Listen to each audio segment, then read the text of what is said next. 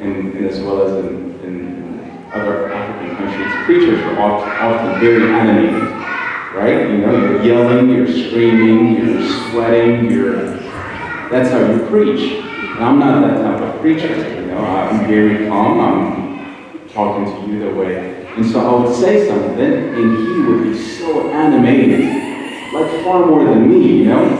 And uh, I remember one time, I don't remember exactly what I said, but it's along the lines of, you know, the Spirit of the Lord touched the, the individual or something. like that. And he took it, you know, he said, accepted my so you wussy that part, you know? And so I looked around and she's like, do you want to speak? You know, instead of me.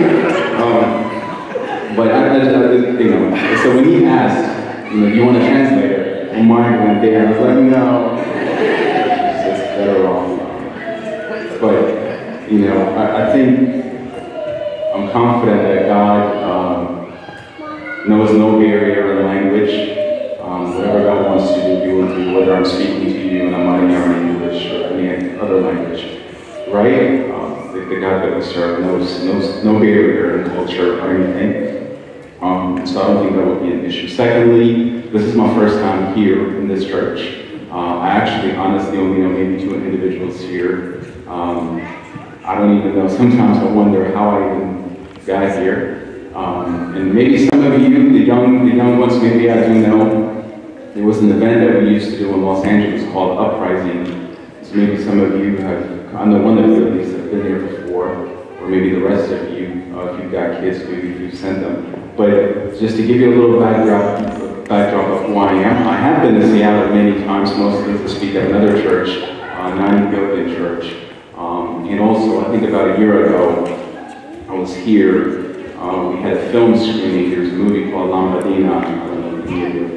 I produced. Um, so there was a screening of that film here in Seattle, so I came for that. Um, but so I'm not familiar with Seattle. But, so for those of you that, don't, that I don't know, hopefully I'll get to know it. Um, just to give you a little back, background of who I am, so that you can understand me. Um, I wasn't raised in the church. My dad was an atheist father, but the most incredible man that I know. Um, mom was hardly a churchgoer. So growing up, this was new. I, I wasn't used to. I didn't go to church. Um, but they were great, you know, great parents individually. But my, my grandma was a very devoted uh, Protestant churchgoer, and so I think the first time, the first time I stepped foot in church was when I was nine years old. My grandma took me to church, and, um, and it was kind of like a Bible study of, a bunch of elderly people, and this was in Dallas, and so the preacher, um, I think the message was really targeted towards me, and the whole time he was preaching on the topic of hell. And so it, I was just scared to death sitting there, and then he said, you know, how many of you want to avoid hell? And I was like, me, I'm the first one, so I went to the front and, you know, repeated the prayer that he wanted me to pray. And I prayed, and, and they told me I was saved. And so that was my first encounter with church. Uh, and then my grandma decided to go back to Ethiopia, and so we stopped going to church. or I stopped going to church. Um, but it wasn't until 17, when I was 17, um, I went to Florida, and I, I don't know if the volume was good. It sounds like a little. You guys were good. Okay. Um, so when I was 17, um, I grew up playing sports in Dallas, and there was a sports camp that was being held in Florida, Panama City Beach, Florida. And the guy that was conducting the camp was a guy that played for the Dallas Cowboys named Gordon Banks. And so I was told, you know, he's doing a camp, you know, would you be interested in going? And I said, yeah, absolutely, I'd love to go. And so we went to the camp, and it was really nice area and stuff, but I didn't know it was kind of like, you know, trick into, it's actually a church camp. And so during the day, we'll do a lot of athletic training and stuff, and then at nighttime, he would get up and share his life story. And so Gordon Banks had, um, had been a believer and also a pastor by that time. And so the message that he was speaking and the gospel that he, he was preaching really, really magnetically drew me close to uh, what he was talking about. And so I'll never forget it. It was June 25th, 2000. It wasn't in a church service. It wasn't at a, you know, this kind of environment. But it was on the, on the beach in Panama City Beach, Florida, that I gave my life to the Lord. And it changed everything about me. And uh, he eventually became kind of like a father figure and a mentor to me, and actually pastors a church called uh, Overcomers here in Seattle, um, in Auburn, a city called Auburn. And I know that your family had attended the service there, and when I spoke there a few times, you, you guys have participated. Um, and so I never thought I would go into uh, church or ministry, but I knew that whatever um, I was going to do in life, I wanted to use it to draw people closer to the heart of God. Uh, because everything that I've experienced in that moment changed, drew me closer to God. And so when I went, that was my last year in high school, and so when I went back to my high school, we started doing a small Bible study with a couple of people that I knew uh, before school started. And, you know, grew from five people to 10 people, 20, 30 and stuff. And so, you know, by the end of the year, we'll have about 100 people or so before school started. We get together and have a Bible study, you know, donuts and Bible study. Um, and then graduated, uh, I mean, uh, graduated high school and then went to uh, university at Texas State University. And again, it wasn't a Bible school or anything like that. Uh, but there, the same thing. I knew um, what God meant to my life. And with some of my friends that were playing sports, we started doing a little Bible study.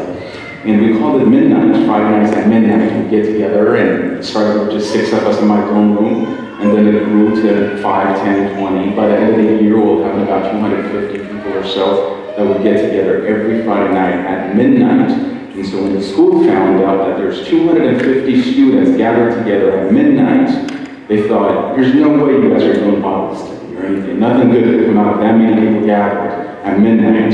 You know, and so they insisted that we don't do that anymore, we move out and so we ended up having to, to have our own place. There was a, a, guy named Shane Barnard, I don't know if any of you know who that is, he was a Christian gospel artist. So he used to live there, he gave us his warehouse to meet, and we started doing our service there. We meet Friday nights and midnight. And it was interesting because it was in the middle of all the clubs and the bars and, and stuff were, um, that this warehouse was. And so we would open the garage and the rooms and we would have a, that leads worship and I would attempt to do teaching. And so for four years, that's what we were doing. And then one a year, we would do an event where a few thousands of people would gather together. We'll bring in all these different speakers and artists, Lecrae, and some of the Hillsong team would come. So that's what I was doing. But never did I get involved with the Ethiopian community or the Habesha community ever. Until in LA, I went in 2000, 2005 they heard about what I was doing in Texas, and so they invited me to kind of like a little camp, um, like you guys are doing here uh, tomorrow. And so I've never, never done that before, and I said, sure, I'll come. And so I went, maybe 10 people or 10 kids, and I've never done high school. I don't, I don't even know how to relate to high school kids, and so, but my heart was really, really just um, stayed there, you know. And for the first time, I think in my mind, I realized maybe God, you know, wanted me to start a community. Um, there's a reason why I'm Ethiopian, and there's a reason why I'm a believer. And so when the church asked me, would I be willing to move to LA to help uh, you know, start something because they didn't have anything, and I said, all right. I prayed about it, and I knew God was telling me to go there. And so in 2006, I was only 22. Packed up right after graduation, moved to Los Angeles, and we started a ministry called Paradigm. And so, and was there for 14 years or so, but then the ministry grew into a church, now it's an actual church. And so it's been amazing to see it become what it is. And so, I'm 36 now. I'm not a youth pastor, to be honest with you, nor was I ever really, really a pastor per se, but I don't even know, because youth in our community, it's, it's an obscure word. They're 30 year old guys that are calling themselves youth still. You're not youth, you're an adult. Youth is really high school, you know, until you're getting ready to go to college. And then after that, you become a young adult, you know? Um, and so we were doing a young adult ministry there. Anyways, now to rewind back to today, um, what I wanted to share with you, I guess a little bit of the content, it's, it's, it's from the book of Luke, Luke chapter 5. Um, for the last two, three years or so, um, if, if, you haven't heard anything that I've said so far, I hope you will hear this part. For the last two, three years, I've been away from the Ethiopian community. I resigned my position from being the, young adults pastor in, in LA two years ago. And um, of course, we're doing a lot of film related stuff. Uh, and also, I wanted to spend time with family. And so I haven't stepped foot in an Ethiopian church in two and a half years, so this is all new to me right now. And so when Pastor asked, or when I first got the invite, I was like, no, I don't think I could do it. Um, and then on top of that, I was in Ethiopia. I just came back a week ago. Um, it was four different countries that I was at, so I didn't think I was going to be able to make it. And then on Friday again, I'm going to Europe. So when they were, when they were asking me, I said, I haven't done youth ministry in years, you know. And I, I, don't even know how to relate to, to, to that community. And on top of that, I haven't been in the Ethiopian church in, in such a long time. I've been beat up in the Ethiopian church, you know, and so I know that I know the feeling. So it's like, hey, I've served my dues. You know, it's, it's the time time for other gender, other people to, to do that. So, but anyways, God has His reasons on why um, I needed to be here, and so this this more, far more than me giving to you guys. I feel like this is giving back to me something as well. And so when I was praying, you know, what can I uh, share from? In my personal devotion, there's a story of Jesus' encounter with his disciples that have been so instrumental for me the last two years. Um, before, it's interesting, even when you're not intentionally doing it, you could pick up when you're in ministry and when you're in church, you know, you read your Bibles because everybody's doing it, or you're, you know, studying the Word so that you could preach, you could minister. But now, I don't have those obligations. I read it for me. It's beautiful for me, my own personal growth, and my own personal relationship with God. And that in itself has been so wonderful to me. You know what I mean? Um, I don't have a congregation to lead anymore. I'm my own congregation to lead now. And the lessons that I'm learning here has been so instrumental to me, not only just to discover, rediscover who I am, but also to rediscover the heart of God. And so what I wanted to do today is share with you from Luke chapter 5, the story of Peter. Um, and I've preached from the life of Peter many times before, but the beauty of the, the Word of God is every time you go back to it, there's something new you could draw from it, right? That's why it's a living Word of God and not just a written Word of God. It's alive, because when you read it each time, it means something to, to you and I. And so, I want us to read the first call of, of, of uh, uh, or the first encounter that Jesus has uh, with Peter. And so Luke chapter 5, we'll read it, and then we'll pray and dissect the scripture. So go to Luke chapter 5. Pamani Lucas? No? Okay, chapter 5. One day, he says, this is verse 1. It says, one day as Jesus was standing by the lake of, um, another uh, uh, translation says uh, Tiberias, by the sea of Lake Tiberias, with the people crowding around him and listening to the word of God, he saw at the water's edge two boats left there by the fishermen who were washing their nets. He got into one of the boats and noticed that Jesus is uninvited to get into the boat. They didn't tell him, come in. He just invites himself into the boat. The one belonging to Simon. He asked him to put a little from the shore, and he sat down and taught the people from the boat. When Jesus had finished speaking, he said to Simon, put out into the deep water and let the net for a catch. Simon answered, Master, we've worked hard all night and have caught nothing. But because you say so, I will let down the net. When they had done so, they caught such a large amount of fish that their nets began to break. So they signaled their partners in the other boats to come and help them and, and to fill the boats. Um, and, and the boat began to sink. Verse 8 When Simon Peter saw this, he fell at Jesus' feet and said, Go away from me, I am a sinful man. For he and all his companions were astonished at the, catch, at the catching of the fish that they had taken. And so were James, John, and sons of Zebedee, Simon's partners. And then Jesus said to Simon, Don't be afraid. From now on, you will catch men. Or another translation, I think, said better. said, From now on, you will be fishers of men. So they pulled their boats from the shore, left everything, and followed him. Let's pray. Heavenly Father, um, we come before you today and this afternoon, God. Uh, you for this time that you've given us. I thank you for every single person that is in this room. Thank you for your word that is alive. I thank you that we could draw from it. I pray that your spirit would teach us something. I pray that our eyes, not just uh, hear the words that I'm, I'm saying, Lord, but our hearts would open and, and feel and understand and conceptualize your word so that it could be applicable for us today. God, enable me to speak the word in a way that is understandable and receivable, that everything that comes out of my mouth, God, bring honor and glory to your name.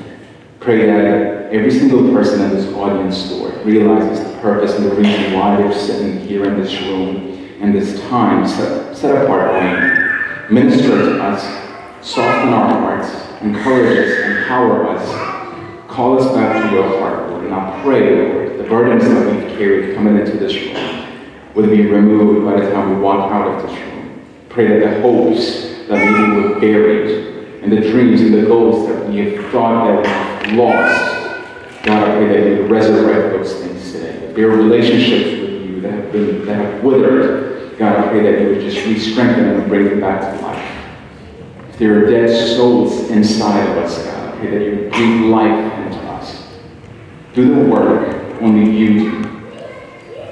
You're the God of resurrection, so resurrect our life to see you for who you are. We love you, we honor you, in Jesus' name I pray. Amen. Okay, so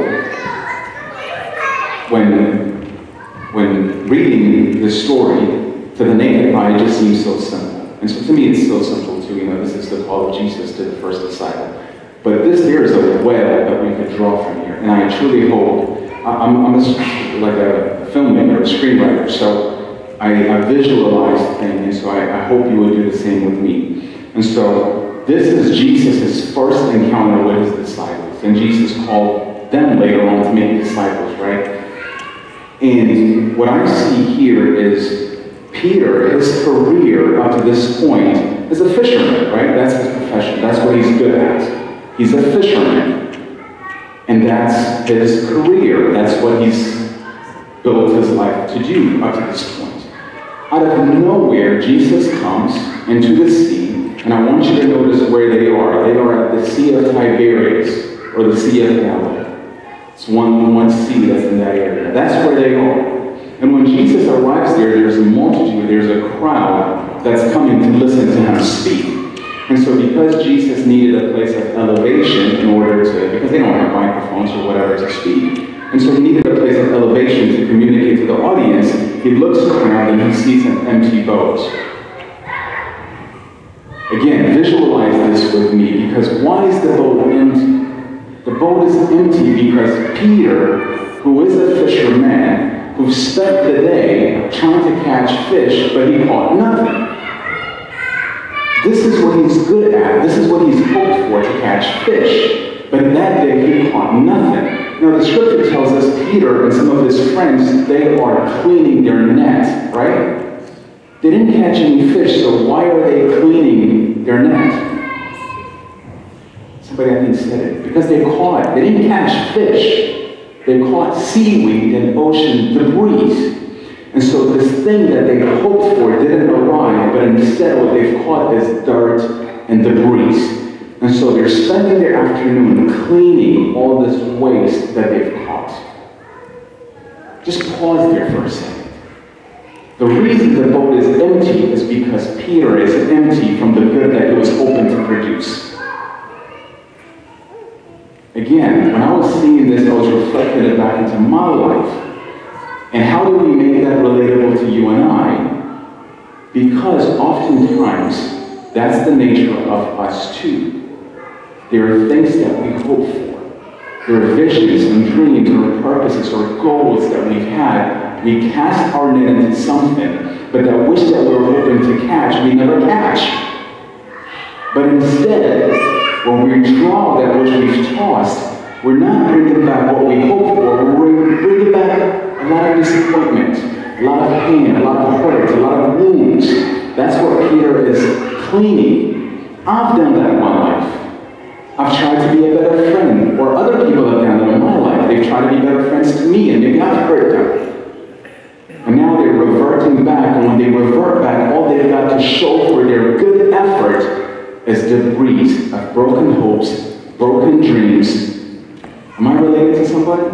Am I the only one that have been through that? I know in our, in our community, it's a shame to even dare attempt to say you've got any struggles. But I hope that's not the case here. Because we all have weaknesses, we all have struggles, right? And in fact, if we're unable and unwilling to show God our weakness or that which we struggle the most with, how could He heal?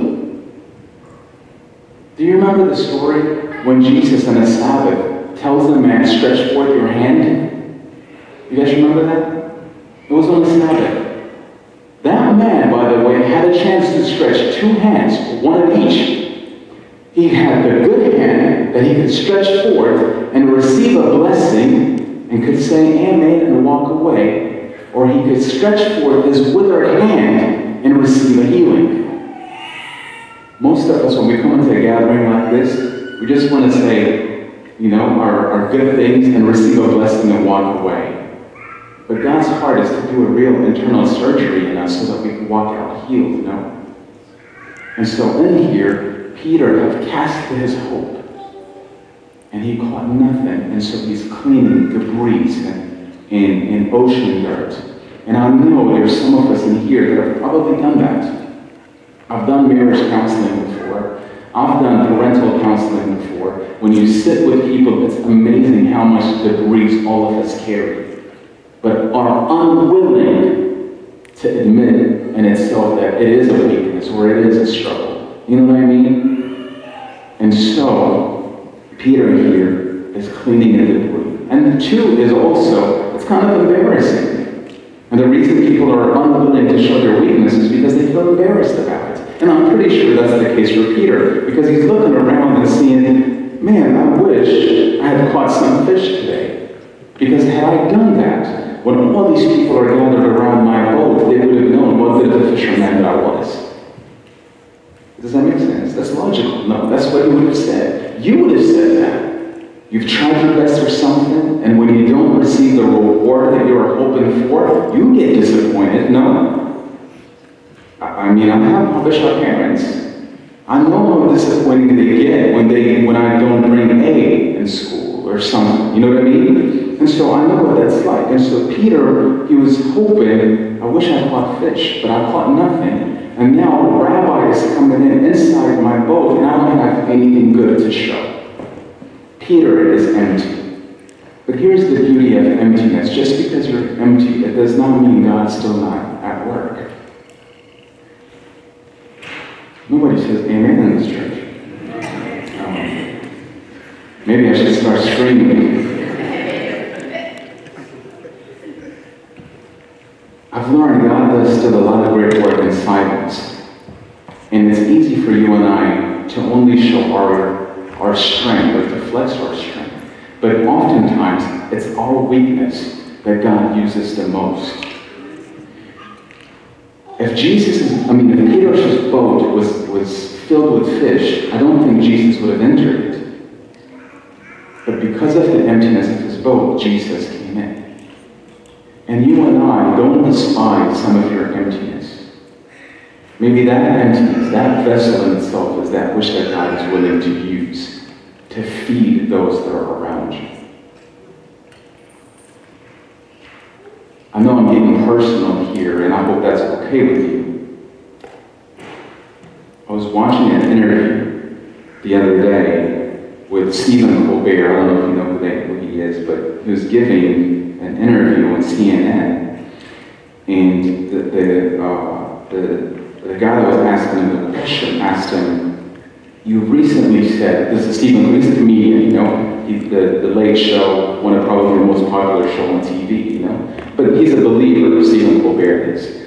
And his story is when he was nine years old, his dad and his two brothers died in a plane crash. And, and so he knows what pain is like. And so Stephen Colbert said, existing and living is a gift from God. And with existing and with living comes both good and bad. I can't be thankful just for the good that I have, but I have to be thankful also for the bad. And he was saying this to a man who just lost his mother. The interviewer, I think it was Anderson Cooper, who just buried his mom. So he was telling him, I could understand that pain. And all I could tell you is embrace it. And so Anderson Cooper, in this interview, was crying. And so that's what Stephen Colbert. It's because I have to embrace both the good and the bad. And Anderson Cooper said, see, anybody else could say that to me and I would be offended. But when you said it to me, it clicked because I know you've lost a father and two brothers. And Stephen said, that's the beauty of pain. Make sure later.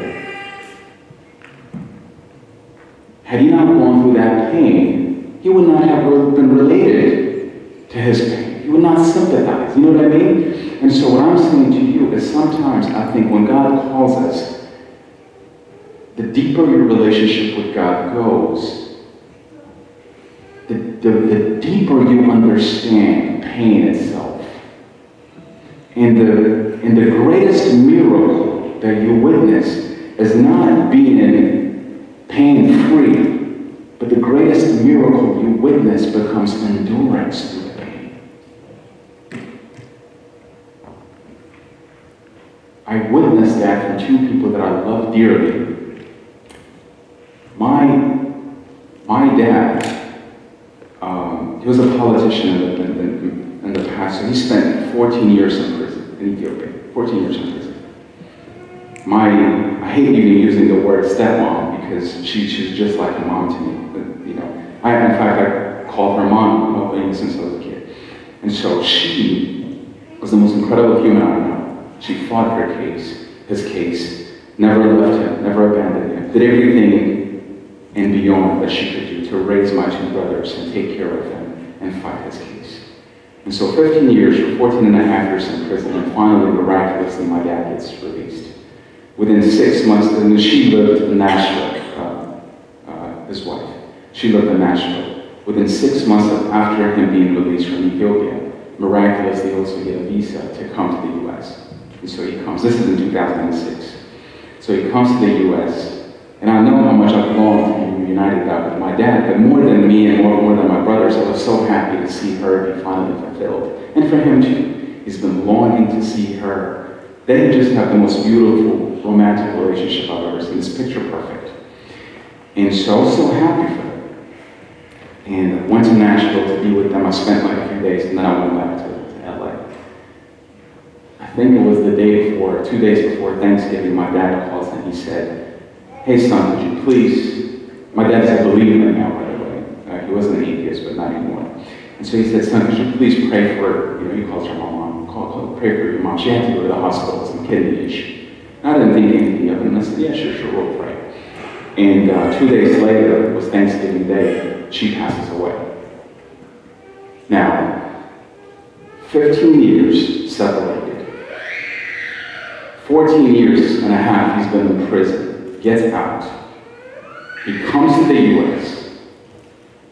Within three weeks, his wife passes away. Okay? He's in a new country. By the time, the time he went to prison and he was released, the world had changed. Before he went to prison, there's no such thing as internet, or that we know of. The computer, everything is developed country, everything has changed. Now and I can only imagine the pain he's going through. And so we go to the funeral, we have the burial, everything. And I'm looking around, and my dad is so composed, he's so strong about this whole thing. And so after, a few days after the funeral, I was getting ready to come back to LA, and I was sitting down with him, and you know, us Habeshas try to be macho and stuff, and so I thought that's what he was doing. And so I told him, you know, Dad, it's okay to break down and complain. I was frustrated at God. I'm like, where is God? Just a few weeks ago, we were saying, thank you, God, and then exactly four weeks later, she passes away. Where's God in this picture? And so I was sitting down and I said, God, it's okay to complain. And he looked at me and he said, You think I've got a reason to complain to God? I was like, Yeah, you do. You've got a lot of reasons to complain to God. He said, No. You've got a lot of things to be thankful for. He said, The way I see it is that God loved me and honored me enough to give me one month of my life. See, it's a matter of perspective. And, and it just blew me away that he said that. But what's crazy is that my dad now, he's so like compassionate and just encouraging towards those that go through difficult times like that because he knows what it's like to hurt. You know what I mean? So there's the beauty of, of emptiness because God is still you. It wasn't just for him, but also his ability to minister to others. You know what I'm saying? And the second person, I know I'm giving you too many examples here, but the second person was my aunt. My aunt has an autistic son, and he has a severe case of autism. Now he's 16 or 17. He's 6'6". He's a huge kid. Had like about 280 in pounds. There's not a church service that she's not taken into. There's not those miracle services that she had not taken to. There's not any, you know, she's tried everything. You know, he, it, it, it's just, it's, it's, it's really hard he, you know, he can't go to the bathroom on his own, he can't speak, he can't eat, and, and so, so, and so my, my, but my, my aunt is so thankful, and, you know, she's a good mother. And so finally, there was a guy that was coming from Ethiopia, this is a few years ago, Mr. Wonderful, that, that does miracles, was coming, he wanted to pray for a Christian, name's Christian. And so they go to the house, and, you know, he prayed and he said, you know, God has revealed to me he's going to heal your son, whatever. And so he prays for him. And, and of course, you know, nothing happens. And then the guy gets up and he says, it's because the miracle doesn't happen because you lack faith to her. And I was there that day. And mom, you know, if, it was me, I would have probably slapped him. But my, my, my aunt has better self-control. One of the, the, fruits of the Spirit is self-control. And so she said, it's because you missed the greatest miracle when you walked in. And he goes, what's that? She said, the, the, the, the miracle of endurance. The miracle is not him, the miracle is what God is doing in me. It gave me goosebumps when she said that, you know? Because sometimes that's what we think. The miracle, we wanted it there, but the miracle is maybe God is doing in your emptiness. So the miracle is that God has given me grace to endure the unendurable. That's miracle. And so in this case, when, when Peter is filling, and when Jesus is filling Peter's boat, Peter wished there was something else that he could have had in the boat, but Jesus is busy witnessing and feeding others. And Peter is probably thinking, what about me? You know, but Jesus is focused on feeding others. And so in your emptiness, sometimes it may seem as though God is ignoring you while feeding others. I'm sure some of you adults have complained that before, because that's a common prayer. God, you've done this for so-and-so, what about me? And then in this story, though, after Jesus gets done feeding the multitude, he then turns to the guy that needs the feeding the most, and it's Peter. And I want you to picture Peter. He's sitting there, seaweed, grabbing seaweed, the debris, the wounds, the things, and he's throwing it. And then Jesus looks at him and he says, Okay, your turn. I want you to cast your net even deeper. Please conceptualize this. Peter had just spent hours cleaning debris. And Jesus turns around and says, Throw it again. And Peter is probably thinking, Again? I'm a fisherman, you're a carpenter. What do you know about this, anyways? He could, ra- he could have rationalized his way out of obedience, which most of us fail at doing. Obedience. So Peter here does something against his conscience. He's willing to obey just because he said so. And he said it in here. Master or rabbi is the correct word the translation uses. Rabbi, he said. We've tried this many times before and we caught nothing. But because you said so, I'm willing to do it again. Although I know I'm just going to grab my net back, my hopes back, my dreams back, and all I'm going to be doing is just pulling pain, disappointment, and hurt. That's all I'm good for. But because you said so, I'll do it. And he does it. And when he does, you know the story, he catch fish that he couldn't contain. And so he asked his buddies to come and draw the net and tow it. And he lays it down, and it's fish that beyond what you've ever seen before. See, that's the critical point right there. And Jesus is standing watching him. And Peter is looking down at the fish. And he looks up and he falls down. He says, Away from me. I'm a sinful man. You see, that's the test of character. Peter could have been so blinded by the fish, he would have said, Man, thank you so much for this incredible thing that you've done for me. Man, this is career set. This is my career right here, you know? This, this will last me a lifetime. I could sell this and go retire somewhere. I could go to Rome now. But Peter doesn't fall in love with the channels. Peter falls in love with the source. He doesn't even pay attention to the fish. He turns around to Jesus and he falls down and he says, I'm a sinful man. And that's when Jesus said, okay, this was never about fish anyways.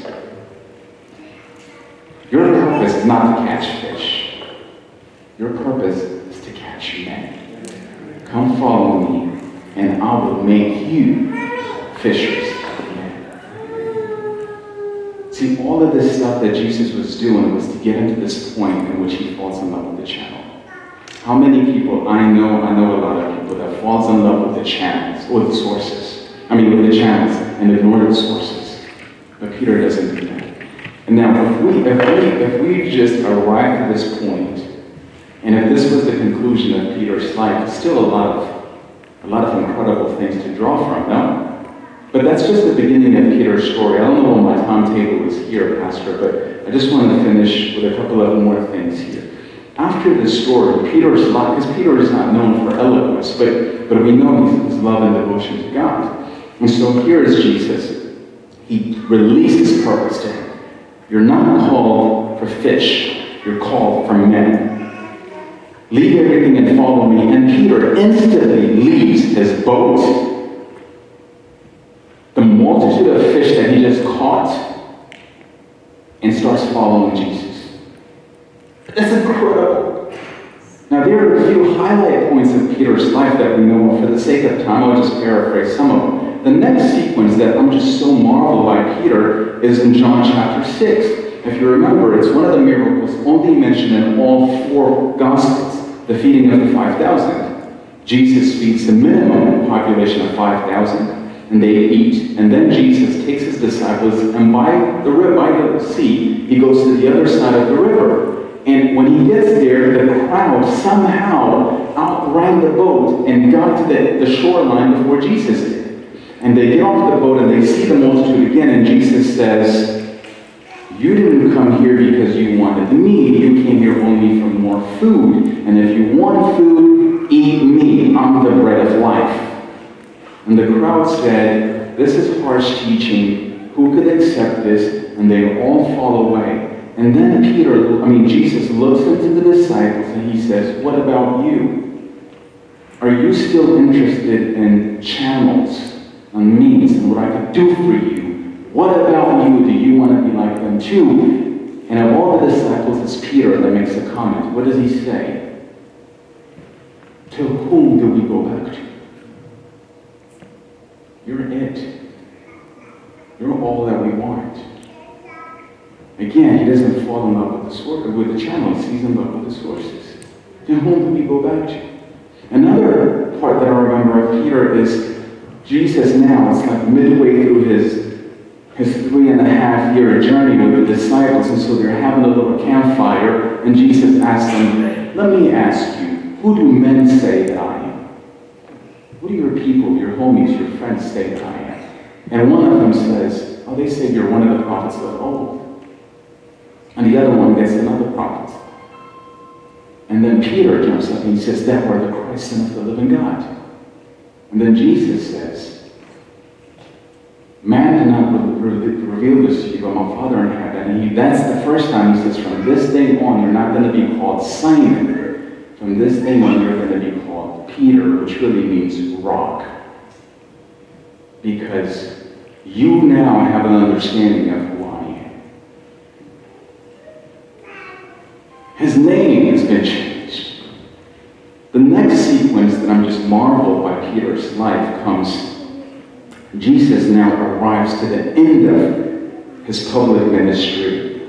And again, he gathers his disciples. We call it the Last Supper. And the, the Prince of Heaven puts an apron and stoops low and starts washing the feet of the disciples.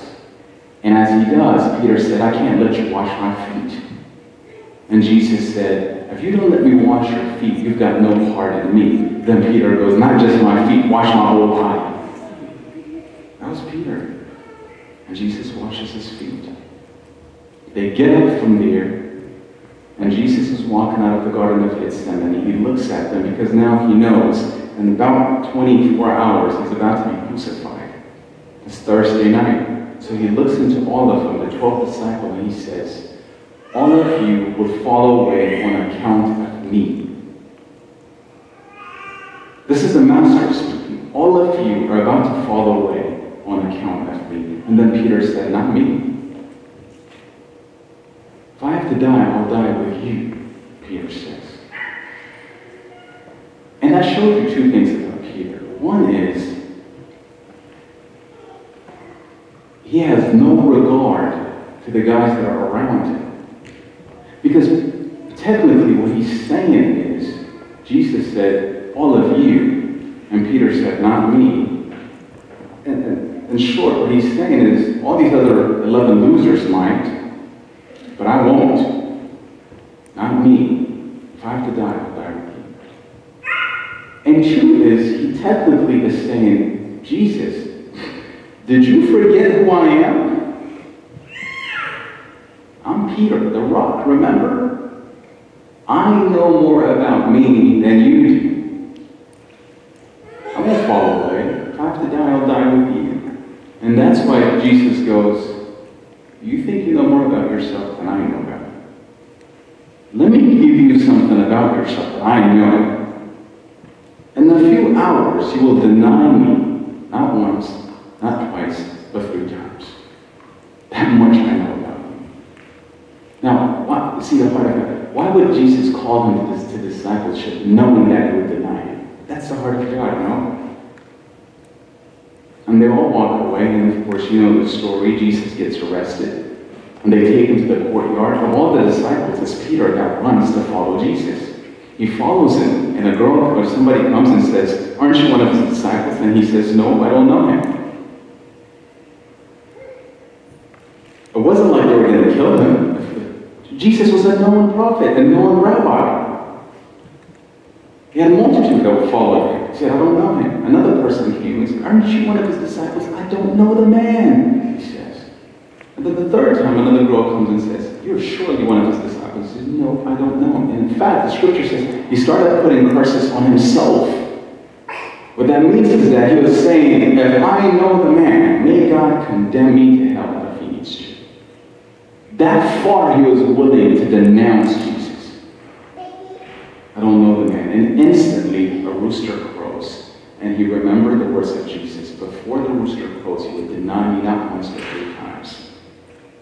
And the scripture says Jesus, I mean Peter fell. Because he could see Jesus through the courtyard.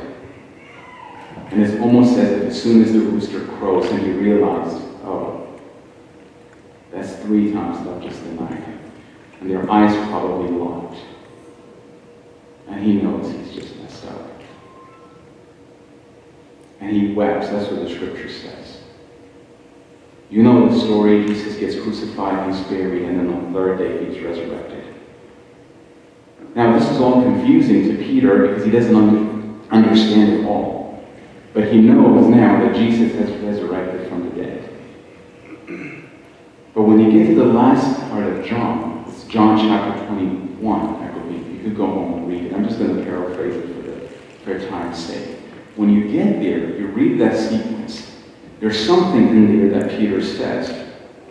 In the first verse, Peter says, this is after the resurrection. This is the last, the last chapter of the Gospels. Peter says, I'm going back to fishing. He wasn't saying, I'm hungry, I'm going to go grab something to eat. It's been three and a half years of an incredible revival journey that he's been on. And now it's come to an end, and Peter says, Guys, I'm going out to fish. When he's saying it, I'm going back to what I know. I've lost my purpose. I lost who I am. I'm going back out to fish. And the scripture says, all of them said, We'll come with you. Now it's incredible how much influence this guy still has. Just because you lose your purpose, it doesn't mean you still lose influence. That's why some people that once God had called, but now they live in disobedience, but they could still influence people. You just lost the purpose and the calling, but you still could influence people to the good or bad. And so Peter says, I'm going out to fish, meaning I'm going back to what I know best. And they all go with him. Where do they go? The Sea of Tiberias. What does he do? He grabbed his net, he cast his net. What does he catch? Nothing but debris. He pulls debris and he pulls debris. Because anytime you abandon the purpose that God has for you, you catch nothing. You caught nothing. He's pulling debris. But guess who's there? The very same place he met him three and a half years ago. And Jesus still standing. And then he says to him, Throw your net again. And still doesn't click to him. He does it. And at that moment, he catches more fish than he ever thought. And he drops everything. He realizes it's Jesus. And the scripture says he jumps into the water and starts running towards Jesus. And he gets close to Jesus, and now this is their first time seeing each other face to face after this whole thing. They sit down, and Jesus asks them that question Do you love me more than these? Look, I'm, again, I've preached from this stuff. I never, I never saw what I'm about to, to say to you. What are the deeds that Jesus is talking about? You ever thought about that? He's not looking at the trees, not looking at the sky saying, Do you love me more than these things? No. Do you love me more than these fishes? Let that symbolize something for you. Because this is what Jesus is doing. It's almost as if Jesus was saying, Peter, one thing I know about you is that when things don't go the way you expect them, you've got these things that you keep running back to. They're almost like your security blankets. Habits, behaviors, drugs, alcohols, whatever it is, these things that you keep running back to.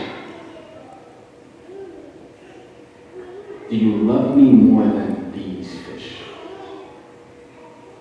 And Peter said, Lord, you know that I love you. Then Jesus said, Feed my lambs. Luke chapter 5, what did Jesus tell him? Get up, follow me. Your purpose is not to catch fish. Your purpose is to catch men. Your purpose is to feed men. Peter, do you love me? Lord, you know that I love you. Then feed my lambs. He asked him that three times. What is Jesus doing there? Because to Peter, he thought he has abandoned his purpose. The whole dream of changing the world, touching the world, had died the minute I rejected Jesus again. But here it is, Jesus in John chapter 21. He's saying to Peter, although you've fallen, although you've walked away, I never did. Your purpose is still on.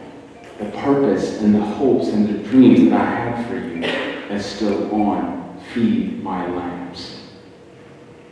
Now, I don't need to tell you about the rest of Peter's history. And I think it's in, the book of Acts. The first time that we hear the word repentance in the book of Acts is with Peter. He tells the group of people that he was witnessing to, he says, Repent so that time of refreshing may come in. You know why he would say that? Because he knows what it's like to be refreshed. I know a lot of people that are devoted to God only because they're scared. Listen, you think Christians are the only ones that are devoted to the higher being that they worship? Go to India. A year and a half ago, I went to India um, for the Diwali festival. I couldn't believe my eyes at how much people are devoted to their object of their worship. The stuff that they're willing to go, the distance that they're willing to get to in order to feel and appease this, this ferocious God that they believe is real. Jesus didn't say, obey me because you fear me. He said, obey me if you love me. And Peter says, you repent not just so that, you know, you can have okay moment. You guys repent so the seasons of refreshing may come in. Connect to God so that you can be refreshed. Not be in fear and in terror. Repent so that seasons of refreshing may come in. I know, uh, again, I hear a lot of that, which is great. But that's what Peter says. And then later on, we'll read the story of Peter think it's um, in the history books, eventually at the end of his life, when the Romans wanted to, to kill him, they were going to crucify him just the same way they did Jesus. Because crucifixion, by the way, is not something that was just practiced on Jesus. In, in college, I was a computer graphics major and a history major. And it's amazing sometimes in church how many people just understand the concept of history. And when you don't understand history, you tend to repeat mistakes over and over again. But crucifixion is something that Romans did for capital punishment. It's a severe form of punishment that they did. Jesus wasn't the only one to be crucified. But they wanted to crucify Peter the same way. And what he said, according to history and the Narcos books, is that he said, I'm unworthy of being crucified the same way my Lord died. So if you could, crucify me upside down. And supposedly, he was crucified upside down, and that's how Peter died. But when you see his story, it's amazing how far he'd come. Amen? But more than that, the beautiful thing that you see in this story is not really just the life of Peter. What I want you, the picture that I'm trying to paint here is the heart of the Father. Oftentimes in church, it's easy to be relatable, it's, it's good, and it's needed. But if it doesn't connect to the heart of the Father, you're missing the bigger point. That ain't about you. We're, we're humans. We repeat the same things. We do the same stuff. But the heart of God never changes, right? And it's always drawing us and know, and in this story, that's what I see, is that here's Peter, that I've gone through all these changes, but the way God in Christ pursued him to restore him back to his purpose is so beautiful. Amen? And so if you're here, maybe you're just like Peter. You feel like God is busy answering the prayers and the calls of everybody else while neglecting you. I just want to remind you, just because you're empty, it doesn't mean that God is not at work. He's still doing something incredible in your emptiness. Just because you feel like I'm the one that's experiencing pain, why me? You just don't know what God is doing through that. The greatest miracle is a, a, miracle of endurance. Let God use that to touch so many of those that are around you. And you'll be surprised how far God will be willing to take you. I'll be honest with you, the last two years, look, I've spoken in front of an audience this size, and I'm not saying this to brag or anything, but and I've spoken in front of the size of 10,000 people. I've spoken at a Hillsong event before. That doesn't change anything. But it's so amazing to me. Church, speaking in church is beautiful, it's wonderful. But the last couple of years, my audience have been the unchurched.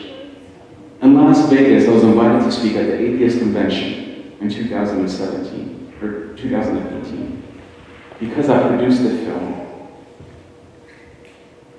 that ended up winning a lot of awards. And one guy at the LA Film Festival in Los Angeles in 2007 saw the film, really enjoyed it. Afterwards, I gave a Q&A with the audience, and he happened to be in the audience. He loved the film. And me and him started exchanging emails. He said, Hey, I love the concept in this movie. What inspired you to tell that kind of story? And I shared him what inspired me to share that story. And back and forth, back and forth. Then he said, Hey, there's this event that I produce. I work at UNLV, University of Las Vegas. We produce this event, and it's designed for elements of faith that come from different backgrounds to give a presentation on why it's important to believe in something. Would you be interested in coming? I said, what kind of event is this? He said, the 2018 Atheist Convention. All right. You know I'm a Christian. I said, yeah. Come. I said, okay. I went. We're talking like 1,500 people, like 1,500 people. And, so it just amazes me when I'm standing here, I'm like, how the heck did I get here? It's because you don't know the doors that God opens when you're just being obedient to someone. When Jesus told Peter to cast his net the second time, it didn't make sense. I just, I just grabbed seaweed, and you're telling me to do it at the same place that I caught seaweed at? What are you talking about? I'll do it because you said so. The movie, the movie became, it won Best Film at the African Academy Awards in Nigeria. Imagine that.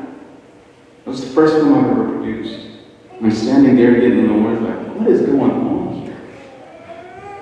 It won like six or seven international awards from Best Film, and so, and it gives you an opportunity to stand and share your faith to people that will never step foot in church. But you know what's humorous? I remember the first time I said, I told the pastor that I'm going to work on the film. They told me, have you started backsliding? Mentira. Jesus, no. Seriously, that was the answer I got. What does that have to do? No, I wanted to make a movie that could speak to other people outside of just church.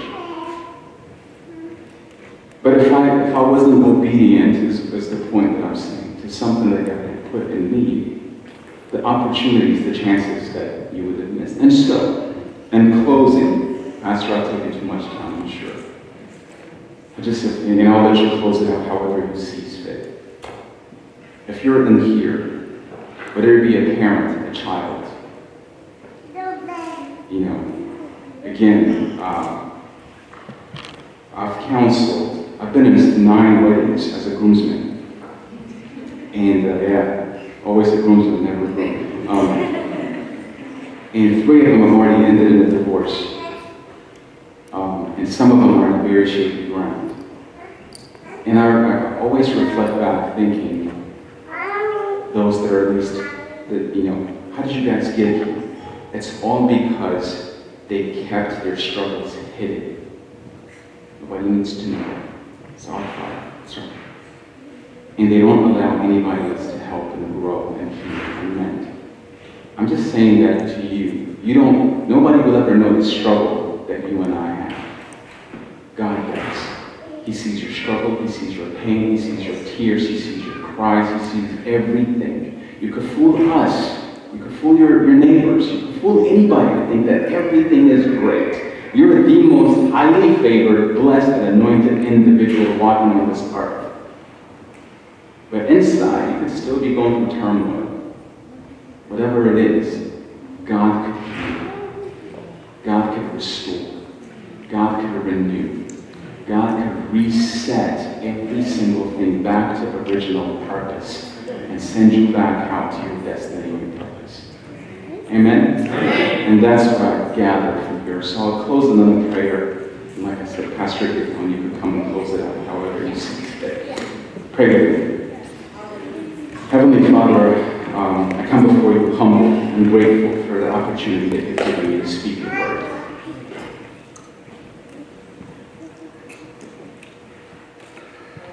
God, you're God that searches our heart and sees sincerity. You're near to those with a broken heart. No matter how young we are, how old we are, God, I pray that you would search through by your presence and by your spirit this room. And Lord, I pray, including myself, God, that I don't walk out here without being restored by you. Touch us like you touched Peter. Holy Spirit, touch us like you touched him.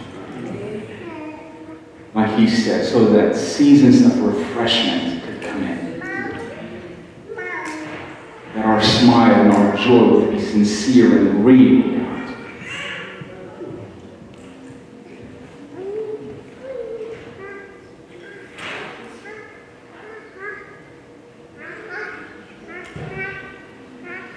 God, give us endurance. Give us peace that passes all understanding. We don't just ask that you remove our struggles, but God, in our struggles, may you be with us. What we pray for the most, God, is your companionship through it all. For David said, though I walk through the valley of the shadow of death, I shall not fear, because thou art with me. Be with us.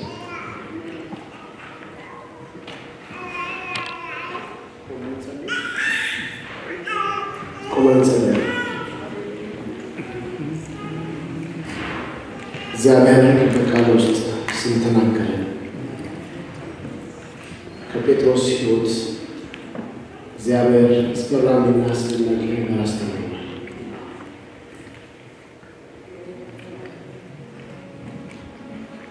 ባዶነት ሲሰማን በታናሽነታችን የሆነ ጊዜ ላይ መጥቶ ከኛ ጋር የጀመረው ጌታ እናስብ።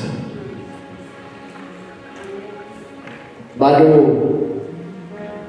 ሁልጊዜ በጌታ ሙላት ያገኛል። በጌታ መገኘት ብቻ ነው።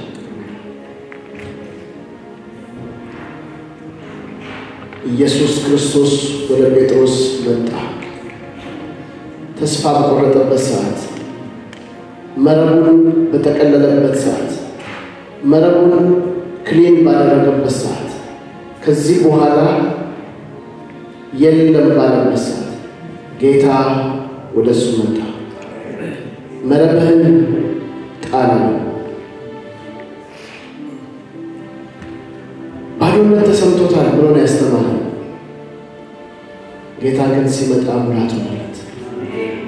እግዚአብሔር የሆነ ጊዜ በታናሽነታችን ከእኛ ጋር የጀመረውን ጉዞ እስከ ፍጻሜው ያጽነዋል።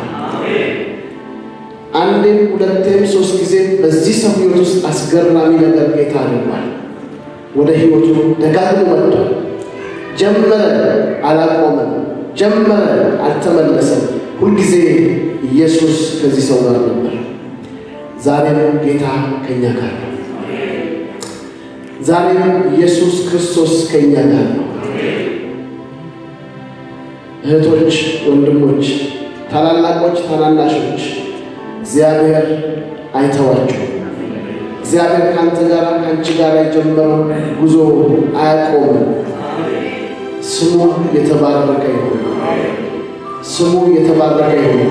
በማንኛውም ሰርከምስታንስ ውስጥ ብታልፉ ጌታ ከእናንተ ጋር፣ በማንኛውም ሁኔታ ውስጥ ብትሆኑ መንፈስ ቅዱስ ከእናንተ ጋር። ኢየሱስ ክርስቶስ ለዘላለም እስከ ዘላለም ስሙ የተባረከ ይሁን። ለዚህ ጌታ ምስጋና፣ አምልኮ፣ ክብር ይገባው፣ ስግደት ይገባው። ገናናነት ለዘላለም ለስሙ ይሁን። ሃሌሉያ! አመስግኑት። ይህን ጌታ ጨምራችሁ ፍቱን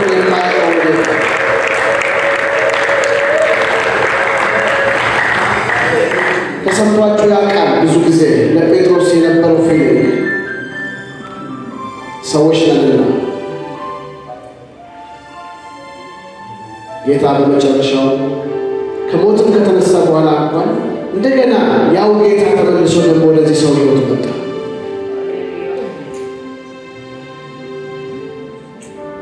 ጌታ ይባረክ፣ ጌታ ይባረክ። ክደኸኛል ብሎ አልተወውም። ጌታ ጥለኸኛል፣ አልፈኸኛል በማይጠቅሙ በሴቶች በገረዶች ፊት ለፊት እንኳን ክደኸኛል ብለውት አልተወውም። እንደገና እድል ሰጠው። እንደገና ወደ ሕይወት መለሰው። እንደገና ወደ መንገድ መለሰው። ዛሬም ኢየሱስ ክርስቶስ ወደ ቤት ይመጣል። ወደ ጓዳሽ፣ ወደ ደጅ፣ ወደ ማደሪያ፣ ወደምትመለከትበት ስፍራ ኢየሱስ ዛሬ ይመጣል። ሃሌሉያ! ዛሬ ኢየሱስ ክርስቶስ ወደ ሕይወት ይመጣል። ዛሬ ወደ ቤት ይመጣል። አልጋ ስር ተንበርክከህ በምታለቅሰው ልቅሶ ኢየሱስ መጥቶ ሙላት ይሆናል።